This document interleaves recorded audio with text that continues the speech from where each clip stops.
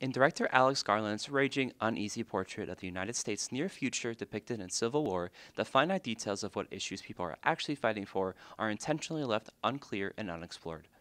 Instead, Garland anchors the audience in the perspective of four photojournalists played by Kirsten Dunst, Wagner Moura, Stephen McKinley Henderson, and Cailee Spaeny, who decide to travel to the nation's capital to interview the U.S. president, played by Nick Offerman.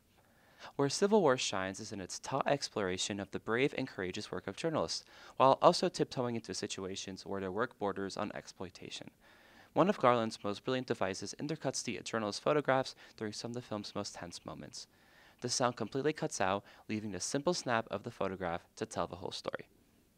However, Garland's unwillingness to engage with any basic sort of world building to juxtapose what these photojournals are attempting to stay neutral from leaves the film feeling general and vague despite some incredible set pieces throughout.